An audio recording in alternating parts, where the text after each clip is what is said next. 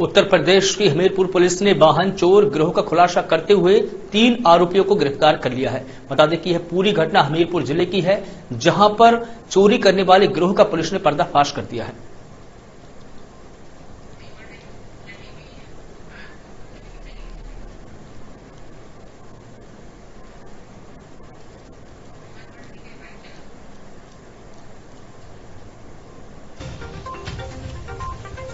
घटना के संबंध में बताना चाहेंगे कि एक मनीष राजपूत जो थाना क्षेत्र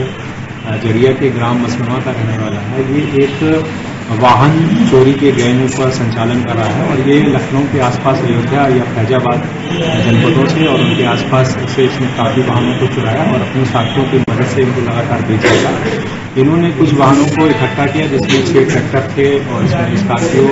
बोलेरो, कुछ कार थी और इन्होंने बुंदेलखंड एक्सप्रेस के बाद करौंदी गाँव में इसको जमा कर रखा था। लेकिन मुख्य खास से ये सूचना मिल गई इस पर इंस्पेक्टर ज़रिया और उनकी टीम ने इन अभियुक्तों को गिरफ़्तार कर लिया।